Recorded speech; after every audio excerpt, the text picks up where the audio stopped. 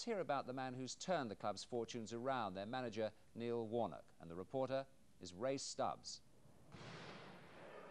Notts County manager Neil Warnock has no problem with any suggestion his team live in the shadow of the forest. He feels some people can't see the wood for the trees. County can make the top flight too. They've certainly grown in stature since he took over in January 1989. County were then 20th in Division 3. Now they're in with a shout at Division 1, and hoping a cup tie with Manchester City is merely a rehearsal for matches to be played next season. In management, Warnock has worked his way through the leagues. He was a non-league Burton Albion in 1985. From there he went to Scarborough and took them into the Football League. Many managers claim to be psychologists. Not many can claim they're chiropodists. There's more to Neil Warnock than meets the eye or the toe.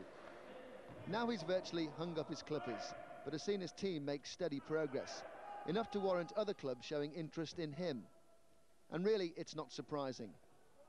In round three, Hull were no match for Warnock's talented youngsters and experienced professionals. A 5-2 away win was as convincing as it sounds. In round four, last year's semi-finalist Oldham were taken on and beaten, 2-0 the scoreline. So how has Warnock prepared his players for the challenge of First Division opposition in round five? It's quite simple. For Notts County, it was Ski Thursday.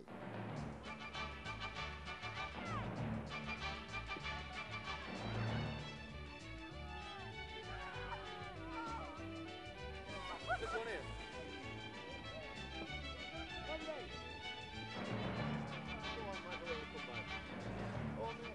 You often prepare for big games like this? Every week.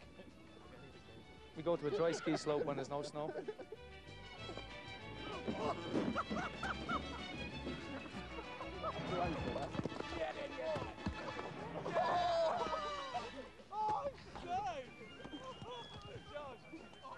I'll stand next to you.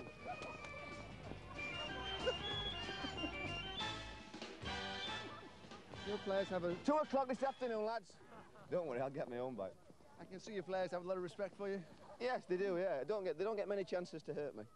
Uh, so when they get the opportunity, they sometimes take it. I Have to excuse me moving, but I'm watching them behind you. Your preparations for big games are slightly unortho unorthodox.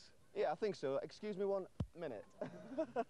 you watch it? You weren't a goalkeeper either, you were a winger. That's right, yes. Um, yeah, it's just a little bit of fun, that's all. We, we uh, Training gets a bit monotonous if you're not careful, and at times we've got a good set of lads and they enjoy something like this.